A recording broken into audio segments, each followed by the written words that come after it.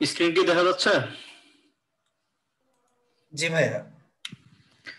আচ্ছা আমরা আজকে রিগ্রেশন নিয়ে কথা বলব ঠিক আছে?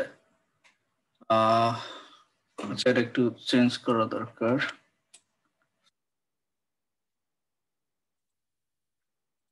তো রিগ্রেশন অ্যানালাইসিস নিয়ে কথা বলব তো রিগ্রেশন মডেল নিয়ে কথা বলব। রিগ্রেশনটা আসলে কি কে বলতে পারবে?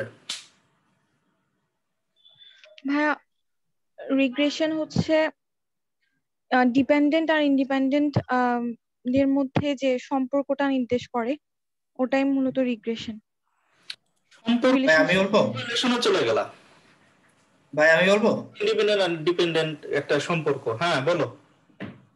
রিগ্রেশনটা হচ্ছে ভাই প্রেডিকশন প্রেডিকশন করবে যে ইন্ডিপেন্ডেন্ট ভ্যালুর উপরে ডিপেন্ড করে যে ডিপেন্ডেন্ট ভ্যালুটা কতটা পরিবর্তন হচ্ছে এটা হচ্ছে আপনার প্রেডিকশন করবে। এক্স্যাক্টলি আর সম্পর্ক বললে আমরা চলে গেলাম আবার কোরিলেশনের দিকে। রিগ্রেশন মানে হচ্ছে প্রেডিকশন করব আমরা। যে ডিপেন্ডেন্ট ভেরিয়েবলটা ইন্ডিপেন্ডেন্ট ভেরিয়েবলের সাপেক্ষে সহজ কথা ফাংশন অফ কি? Y is equal function of X করে আসছি না আমরা ফাংশনে ইন্টারমিডিয়েটে তো বিষয়টা ওইটাই যে Y is equal X F X তাহলে এক্সটা হচ্ছে ইন্ডিপেন্ডেন্ট ভেরিয়েবল এটা চেঞ্জ হলে আমার ওয়াইটা কি হচ্ছে? চেঞ্জ হবে। কীরকম চেঞ্জ হবে ভবিষ্যতে? সেটা হচ্ছে আমাদের প্রেডিকশন করা। তো আমাদের লিনিয়ার রিগ্রেশন আছে। তারপর এই ক্ষেত্রে আমাদের আবার আর স্কোয়ার ভ্যালুটা খুব ব্যবহার হয়। সেই আর স্কোয়ার ভ্যালুটা কি এটা নিয়ে একটু কথা বলব। তারপর হচ্ছে মাল্টি লিনিয়ার রিগ্রেশন সাথে সাথে আমরা হচ্ছে এসপিএসএস এ প্র্যাকটিস করব। তো রিগ্রেশন তো বললোই। তো রিগ্রেশন হচ্ছে যে, এটা আসলে আমরা কোয়ান্টিটিভ ডেটা গুলাকে প্রিডিকশন করার জন্য ব্যবহার করি। ঠিক আছে? তো ইকুয়েশনটা মূলত এরকম।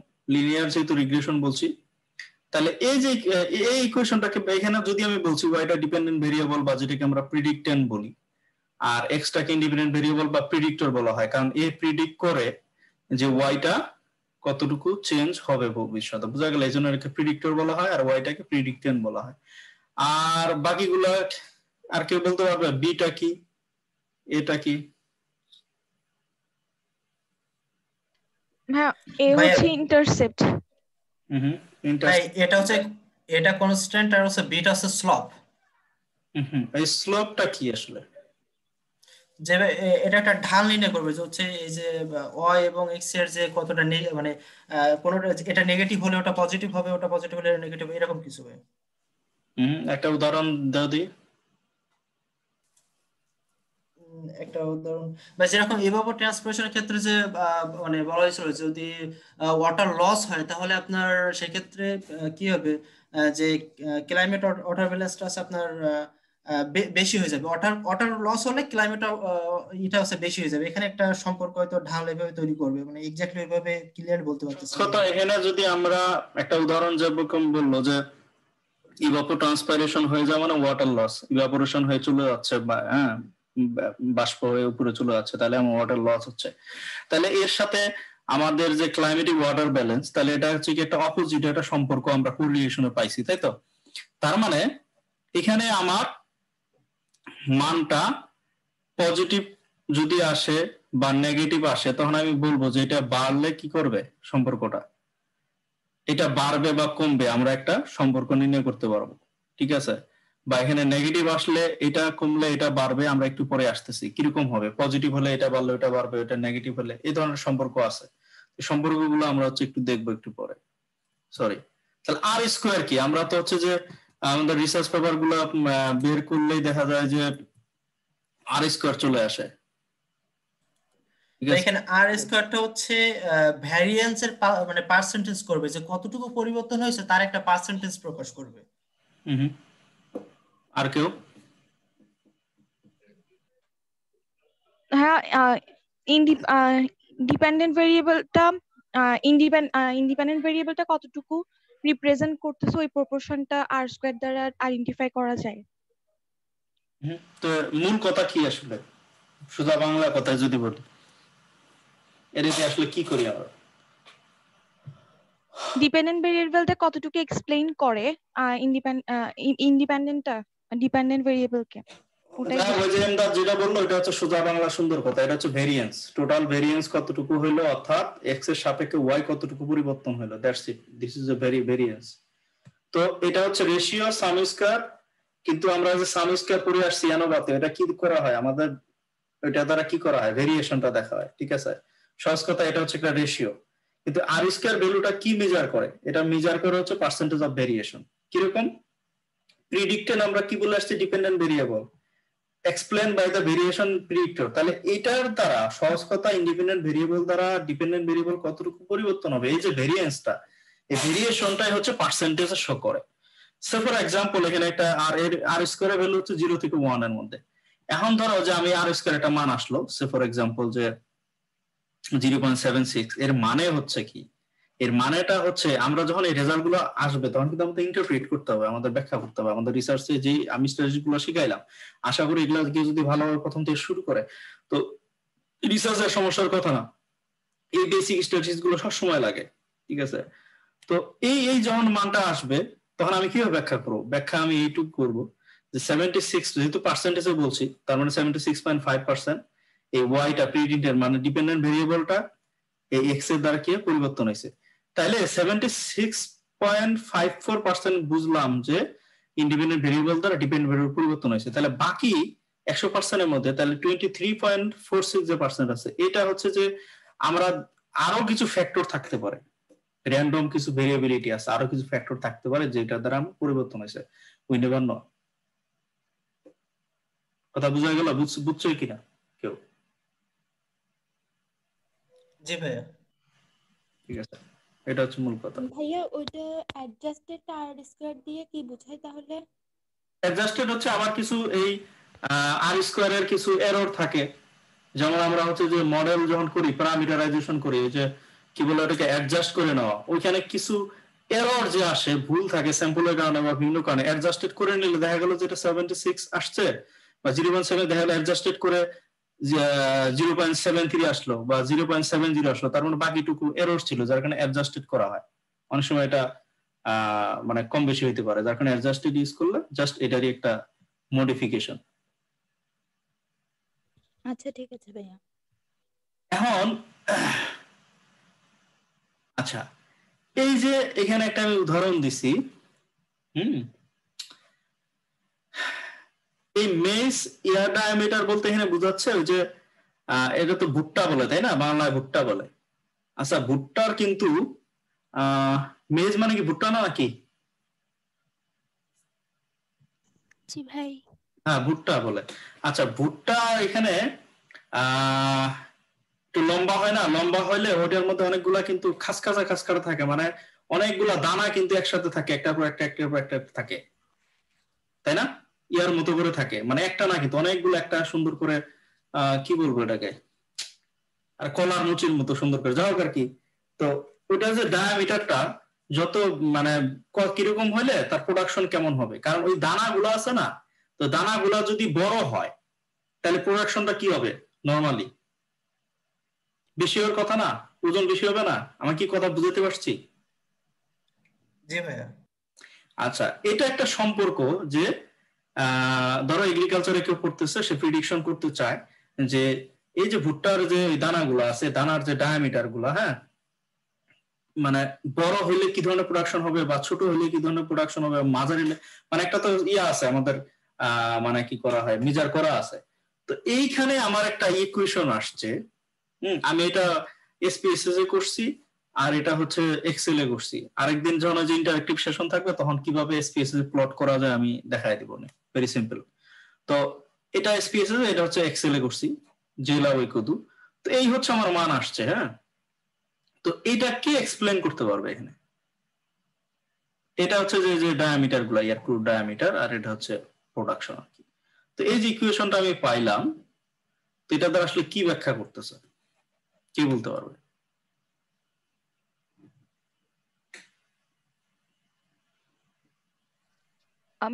ভাইয়া এক্স ইউনিটের জন্য ওয়ান ইউনিট এখন সোজাসুজি এই যে ভুট্টার ডায়ামিটার বলতে পারো এর কতটুকু প্রোডাকশন বাড়লো বা কমলো? সুন্দর করে বলো। এখন রিয়েল এক্সাম্পল আসছে।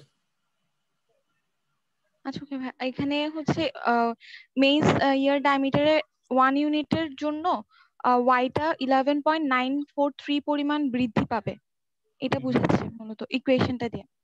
আর আর স্কোয়ার দিয়ে হচ্ছে fifty point nine two percent repress explain করে এখানে যে মেইজ ডায়ামিটার যে ভেরিয়েবল আচ্ছা আচ্ছা সুন্দর ভালো বলতে পারছে কারণ এটা পজিটিভ আসছে পজিটিভ আসছে মানে হচ্ছে বৃদ্ধি পাবে। সো সহজ কথা সোজা বাংলা হচ্ছে যেটা বলল যে এক মিটার যদি এক সেন্টিমিটার বা মিটার যেটাই হোক ডায়ামিটার হ্যাঁ? তো সেটা যদি বাড়ে তাহলে হচ্ছে যে এই যে প্রোডাকশনটা ভুট্টার যে প্রোডাকশনটা সেটা হচ্ছে কত? ইলেভেন পয়েন্ট নাইন ফোর আমরা যদি এর ইউনিটটা কেজি ধরি, তাহলে এত কেজি বাড়বে এত কমবে। তো এটা হচ্ছে কথা। আর আর স্কোয়ার ভ্যালু দ্বারা বোঝাচ্ছে যে এটার কারণে এই যে যেহেতু ইয়ার ডায়ামিটারটা বাড়লে এটা যদি বেশি বড় হয়, তাহলে প্রোডাকশনটা বাড়বে বা কম হলে ছোট হলে এটা প্রোডাকশন কমে যাবে। এই যে ভেরিয়েশনটা ভেরিয়েশন হচ্ছে এটার কারণে এটা ফিফটি পার্সেন্ট ভেরিয়েশন হচ্ছে। হবে ভবিষ্যতে, ঠিক আছে? এটাই হচ্ছে রিগ্রেশন তাহলে এই হচ্ছে কথা। তো এখানে হচ্ছে ব্যাখ্যা লিনিয়ার রিগ্রেশন মডেল আমরা যদি নিয়ে আসি এখন এটা হচ্ছে আমাদের রেজাল্ট তার মানে হচ্ছে ডায়ামিটার যদি এক সেন্টিমিটার যদি ইউনিটটা সেন্টিমিটারে হয় তার মানে হচ্ছে আমাদের প্রোডাকশন এত কেজি। কেজি থাকতে পারে গ্রাম থাকতে পারে whatever, এটা বৃদ্ধি পাবে। এখন তাহলে আমরা যদি ইয়াতে যাই কিসে? স্পেসে যাই তাহলে অ্যানালাইজ তারপরে রিগ্রেশন আছে রিগ্রেশনের লিনিয়ার তারপরে হচ্ছে আমাদের এখানে ডিপেন্ডেন্ট যে ভেরিয়েবল থাকবে, সে ডিপেন্ডেন্ট ভেরিয়েবল হিসাবে আমি একটা যদি এক্সাম্পল দেই রেইনফল আর টেম্পারেচার আগের এক্সাম্পলই দিলাম। দিয়ে স্ট্যাটিস্টিক্সে যাইতে হবে, যে মডেল আমরা ফিট করতে চাই, তারপরে রিগ্রেশন কোএফিসিয়েন্টগুলো আমরা দেখতে চাই, তারপরে হচ্ছে আমার কনফিডেন্স ইন্টারভাল হচ্ছে এখানে নাইনটি ফাইভ পার্সেন্ট কনফিডেন্স লেভেলে দেখতে চাই, কেউ যদি নাইনটি নাইনে দিতে চাই ইস ফাইন ঠিক আছে? তারপরে হচ্ছে এখানে কন্টিনিউ দিলে ওকে দিলে চলে আসবে। এরকম একটা মডেল সামারি আসবে। ওইকে যাই যে একটু আগে যে বলল অ্যাডজাস্টেড আর স্কোয়ার এখানে যাচ্ছে জিরো পয়েন্ট ফাইভ এইট কিন্তু পরে অ্যাডজাস্ট করে নিছে। হ্যাঁ কোনো এরোটোর যদি ছিল, সেখানে জিরো পয়েন্ট ফাইভ ফাইভ আসছে। ঠিক আছে এটি এখানে এফ এনোভা এনোভাও চলে আসছে। এফ এর মানটা আচ্ছা এই মিন স্কোয়ার দেখে এই মিন স্কোয়ার কথা বলছিলাম, এটা দেখেও বোঝা যাবে সিগনিফিকেন্ট কিনা, কে বলতে পারবে?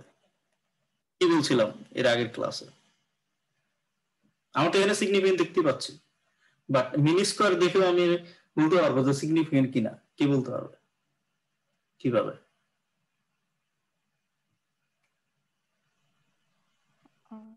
হ্যাঁ এরর এররের পরিমাণটা থেকে রেসিডুয়ালটা থেকে। রেসিডুয়ালটা এখানে কম মিন স্কোয়ার থেকে। ওটার তুলনা করে আমরা বলতে পারব সিগনিফিকেন্ট সেটা যদি এরর হচ্ছে বেশি হয় তাহলে সিগনিফিকেন্ট দেখা যাচ্ছে।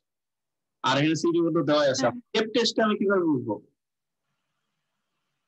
এটা যে আমার সিগনিফিকেন্ট কিনা এই যে এফ এর মান আসছে টোয়েন্টি পয়েন্ট সামথিং তাহলে আমি যদি এফ দেখেও আমি সিগনিফিকেন্ট কিনা দেখতে চাই সেক্ষেত্রে আমি কীভাবে করব? কি কি কি বলে আসছিলাম? হ্যাঁ টেবুলেটেড ভ্যালু থেকে।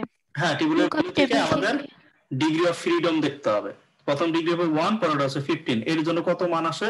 তাহলে টেবিলের যে মান, এটার চেয়ে যদি এটা বড় হয়, যেটা আসছে, তাহলে কি হবে? সিগনিফিকেন্ট ঠিক আছে? এগুলো বারবার রিভাইজ করতে হবে। এনিওয়ে তখন এই যে আমাদের কোএফিসিয়েন্ট চলে আসছে কনস্ট্যান্ট মান এত আসছে টেম্পারেচার কত? টুয়েলভ পয়েন্ট এত আসছে। তার মানে হচ্ছে কি? এখানে এই যে ইকুয়েশনটা আমাদের চলে আসলো, আর এখানে যদি আমরা সিগনিফিকেন্টও দেখি সিগনিফিকেন্ট এটাও কিন্তু significant zero point zero zero zero এই হচ্ছে, আমরা তাহলে একটু প্র্যাকটিস করে আসি। আমাদের ডেটা দেওয়া আছে আগে ডেটা গুলাই। তো লিনিয়ার রিগ্রেশনের জন্য টেম্পারেচার এবং রেইনফল দেওয়া আছে। তো আমরা এটা একটু স্পেসিসে নিয়ে দেখি কি অবস্থা।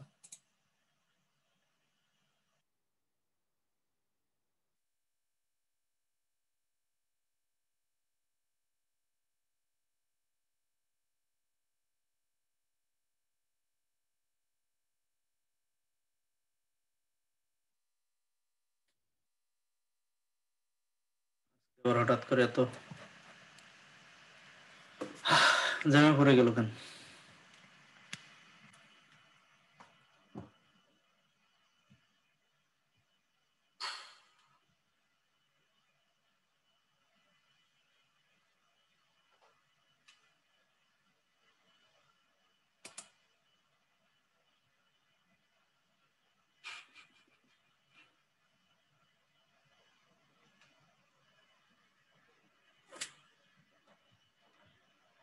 মাই গড এত সময় পাওয়া লাগে না। আচ্ছা।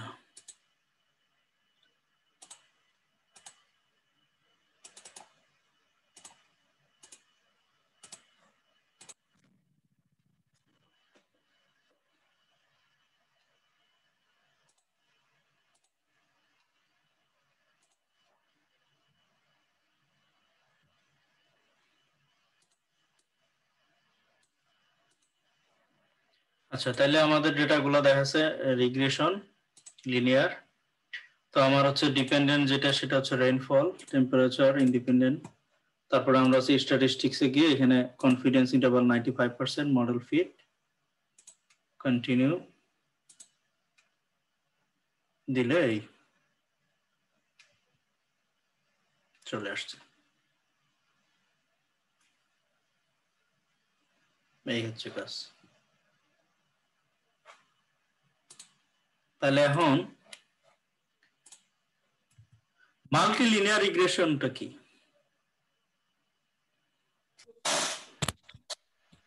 যখন ভাইয়া ভেরিয়েবল অনেকগুলা থাকবে কোন ভেরিয়েবল ইন্ডিপেন্ডেন্ট ভেরিয়েবল গত ক্লাসে কিন্তু বলে আসছিলাম যে পার্শিয়াল কোরিলেশনের সাথে মাল্টিলিনিয়ার রিগ্রেশন এটার সাথে মানে সিমিলার আর কি ওইখানেও যেমন হচ্ছে যে আমার একটা ডিপেন্ডেন্ট থাকবে, অনেকগুলো ইন্ডিপেন্ডেন্ট থাকতে পারে। মাল্টি লেয়ার ক্ষেত্রেও আমার একটা ডিপেন্ডেন্ট থাকবে, অনেকগুলো যদি ইন্ডিপেন্ডেন্ট থাকে, তাহলে সেক্ষেত্রে আমরা লাগবে। যেমন গত ক্লাসে উদাহরণ দিয়েছিলাম, তাহলে ইয়ার ক্ষেত্রে। সেম হচ্ছে আমার একটা ডিপেন্ডেন্ট ভেরিয়েবল থাকবে, অনেকগুলো হচ্ছে ইন্ডিপেন্ডেন্ট ভেরিয়েবল থাকবে। গত ক্লাসে আমি পার্শিয়াল কোরিলেশনের ওইখানে এক্সাম্পল দিছিলাম। কে বলতে পারবে? কি কি দিছিলাম ওইখানে? ইন্ডিপেন্ডেন্ট ভেরিয়েবল ছিল দুইটা একটা ছিল ডিপেন্ডেন্ট ভেরিয়েবল টেম্পারেচার আর হিউমিডিটি ছিল আর সেটার সাথে dependent ছিল না। টেম্পারেচার আর প্রেট ছিল। হ্যাঁ পেট হ্যাঁ, ছিল ভাইয়া। হ্যাঁ। ভাইয়া আমি আর অন্যান্যটা দিতে পারব। আমার এখন আপনারটা মাথায় আসতেছে না। সমস্যা নাই। এখন হচ্ছে যে পটেনশিয়াল ইভাপো ট্রান্সপারেশন ছিল হচ্ছে টেম্পারেচার ছিল, আর আমাদের ডিপেন্ডেন্ট ভেরিয়েবল রেইন রেইন ছিল রেইনফল ছিল, ঠিক আছে? আর ওই যে গত ক্লাসে তোমার কোন স্যার বলছে যে যে রেইনফলের সময় হচ্ছে রেইনফল হলে টেম্পারেচার কমে যায়, উনি বলছে ওই ফিনোমেনের কথা বলছে, যে ওই সময় যখন বৃষ্টি হয় তখন তাপমাত্রার কি অবস্থা? কিন্তু উনি মনে হয় এটা বলে নাই যে রেইনফল আসলে কি কারণে হচ্ছে টেম্পারেচার যে ইফেক্টটা সেটা বলে নাই। উনি জাস্ট ওই বৃষ্টিপাতের সময় হয়তো কথা বলছে, ঠিক আছে? আচ্ছা তো multi linear regression same way একই ভাবে আমরা যাব। তো ডিপেন্ডেন্ট ভেরিয়েবলটা রেইনফল আর হচ্ছে যে ইন্ডিপেন্ডেন্ট ভেরিয়েবল হিসেবে দুইটা দিয়ে দিলি হয়ে গেল, আগের মতোই সব। দিলে এইখানে আমার হচ্ছে দুইটার ক্ষেত্রে আসবে। একটা হচ্ছে টেম্পারেচারের জন্য কোএফিসিয়েন্ট পাবো, একটা হচ্ছে পেটের জন্য পাবো। তাহলে এখানে আমাদের বুঝাচ্ছে যে যদি আমি তাপমাত্রা হচ্ছে দশ মানে ডিগ্রি সেন্টিগ্রেড বলি, তাহলে টেন ডিগ্রি মানে প্রায় ধরো যে এগারো ডিগ্রি সেন্টিগ্রেড যদি তাপমাত্রা বাড়ে, তাহলে রেইনফল কত মিলিমিটার সরি সরি এক ডিগ্রি সেন্টিগ্রেড তাপমাত্রা যদি বাড়ে, যেহেতু পজিটিভ আসছে, তার মানে হচ্ছে প্রায় দশ, এগারো মিলিমিটার রেইনফল বাড়বে। আবার পটেনশিয়াল ভাবে ট্রান্সপারেশনের ক্ষেত্রে একটু কাছাকাছি আসতেছে। ঠিক আছে? কারণ আচ্ছা এটার সাথে এই রেইনফলের কেন ব্যাপারটা থাকতেছে? মানে এটার ক্ষেত্রে কেন ইনক্রিজিং দেখাইলো? আমার ফিল্ডে যারা আছো। টেম্পারেচার বাড়লে ঠিক আছে। রেইনফল হলো। তো পটেনশিয়াল ইভাপো ট্রান্সপারেশন হইলেও কেন হচ্ছে যে বৃষ্টিপাত মানে রেইনফল কেন বে- প- মানে পটেনশিয়াল এভাপো ট্রান্সপিরেশন বেশি হলে তো হচ্ছে বাতাসে ইসের পরিমাণ কি বলে ভুলে গেছি মানে জলীয় পরিমাণ বৃদ্ধি পায়, এক্ষেত্রে আস্তে আস্তে সেটা বিভিন্ন অতটা মনে করতে আর কথা হচ্ছে যত ইভাপো ট্রান্সপাইরেশন হবে, সহজ কথা হচ্ছে ওয়াটার মানে বাষ্প হয়ে পানিটা কি উপরের দিকে উঠতে থাকবে, হালকা হবে। যত হবে তত কনভেকশন হবে। কনভেকশন হইলে মানে ক্লাউড ফর্ম করবে, বৃষ্টিপাত হবে। আমার মনে হয় একই পদ্ধতি এ আচ্ছা দেখা দিই তারপরও। তাহলে আমাদের নতুন এটা ভেরিয়েবল ওপেন করি। নিউ ডেটা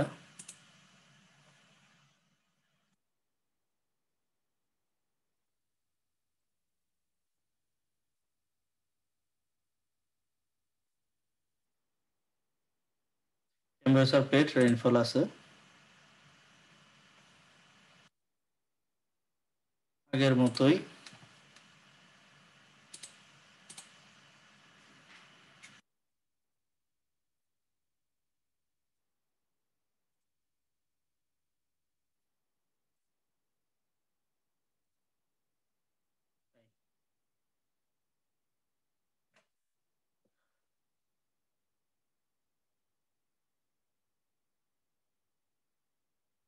বোঝা গেল?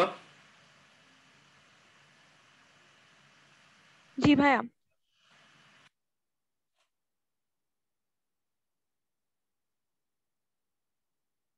আর কোনো কোশ্চেন আছে কিনা?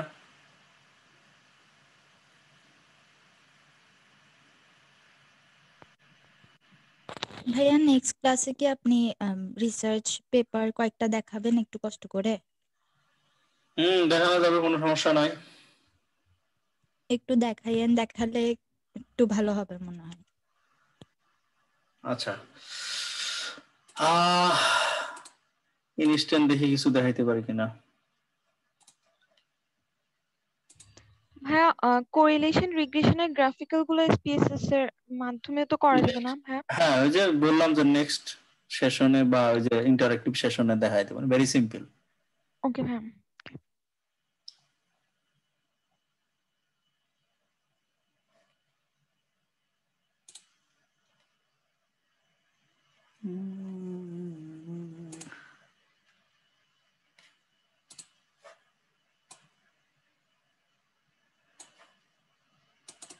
স্লোপ দেখা যাচ্ছে? জি ভাইয়া জি ভাইয়া। নেগেটিভ এই যে রিগ্রেশন দেখা যাচ্ছে ওয়াই জি। হচ্ছে science of the total environment environment related ফিল্ডের জন্য ভালো জার্নাল এটার ইম্পারফেক্ট মোটামুটি পাঁচের উপরে। আমি যা পড়াইছি, এগুলো সব হচ্ছে রিসার্চে লাগবে। কোনো মাপ নাই। আচ্ছা একটু কমায় দিই।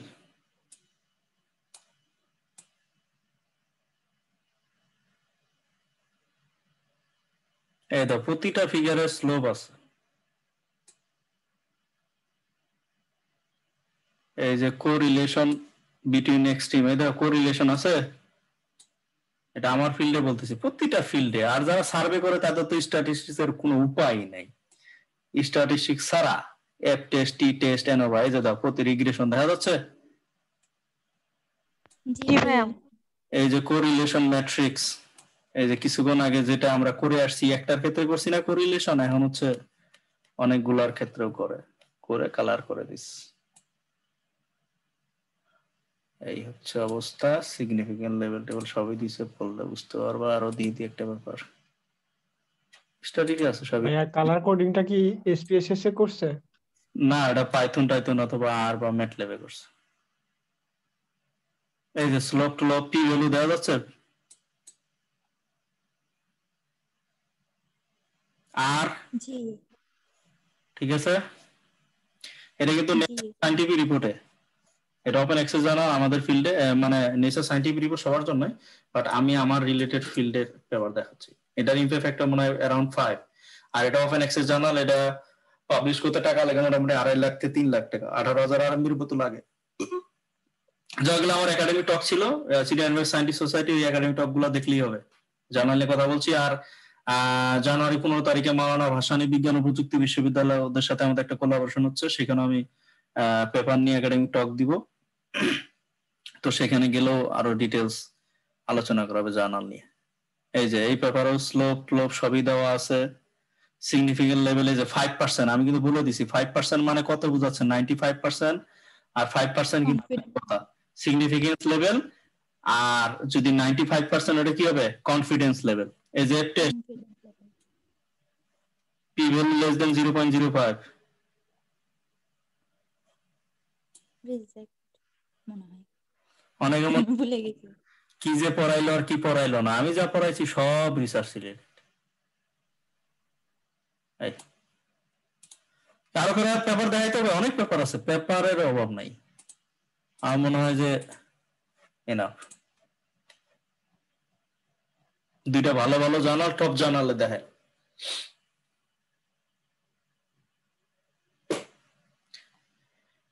কারও কোনো কোশ্চেন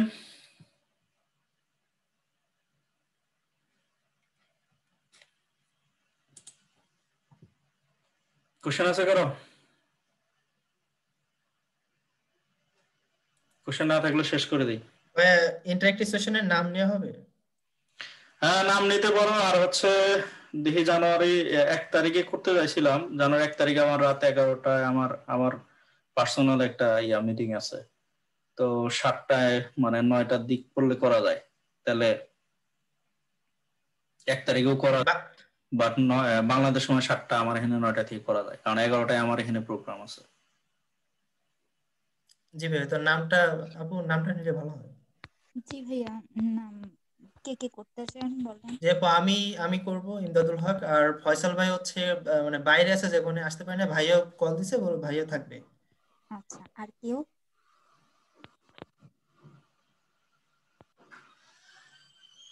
আর কেউ কি করবেন?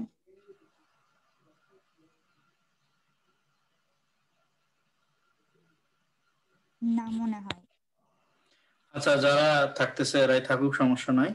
তাহলে আমরা শেষ করে দিব ইনশাল্লাহ আর হচ্ছে আমাদের পাইথন ট্রেনিং এর সার্টিফিকেট আজকালকের মধ্যে আশা করি মানে দু একদিনের মধ্যে পাঠাই দিব ইনশাল্লাহ তো ঠিক আছে সবাই ভালো থাকবেন সুস্থ থাকবেন। আল্লাহ হাফেজ।